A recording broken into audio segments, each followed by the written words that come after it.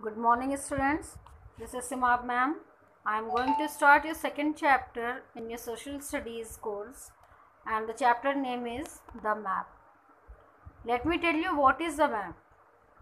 Map is a drawing of the earth's surface or a part of it on a flat surface, such as a sheet of paper.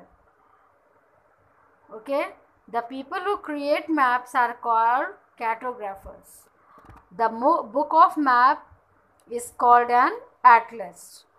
We can draw maps on a flat surface to show continent, countries, cities, and even a neighborhood. Let me tell you, there are two types of maps. Firstly, it is political map, and secondly, it's physical map. What are political maps?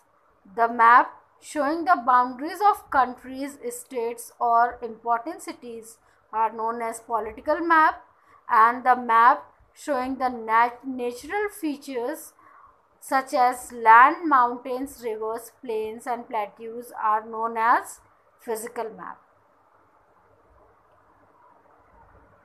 Let me tell you about the language of maps. To understand the language of map, we have uh, every map has colors, signs, and symbols.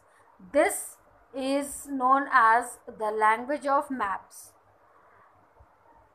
What are directions? There are four. Let me tell you about the directions. There are four major directions. These are north, south, east, and west. The direction at the top of the map is the north. The direction at the bottom of the map is the south. Your right is the east, and your left is the west. What are subdirections? There are four subdirections also. Northeast is your first subdirection. It lies between the north and east. South uh, northwest lies between north and west. Southeast lies between south and east and southwest it lies between south and west.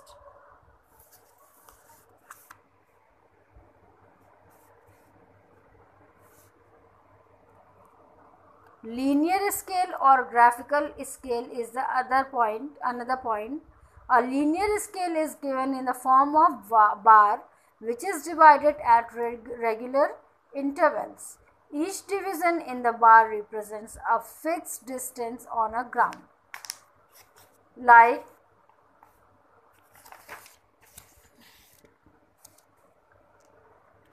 see i am showing you the figure. In this figure below each segment represents 1 centimeter on a scale and 100 kilometer on a ground. It means कि on a ground if it is 100 kilometer so on a map you will see it uh, only in 1 centimeter on a scale okay? A map without any scale is called a sketch.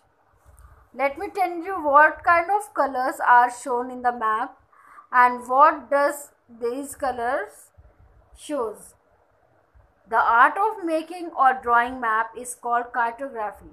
Cartographers are the person who make map who use map.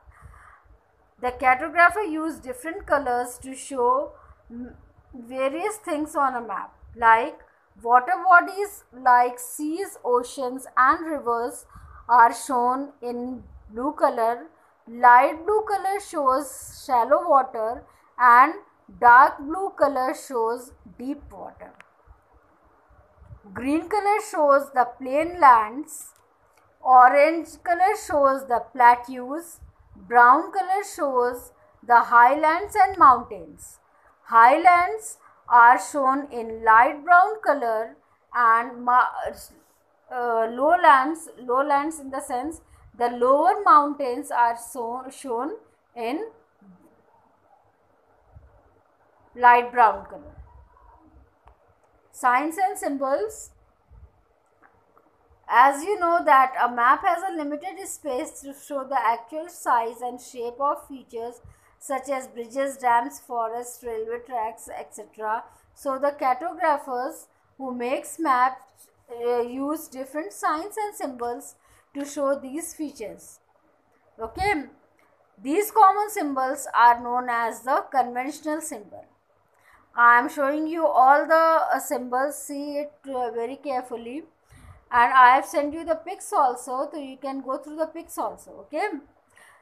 These were the main points in this chapter. That's all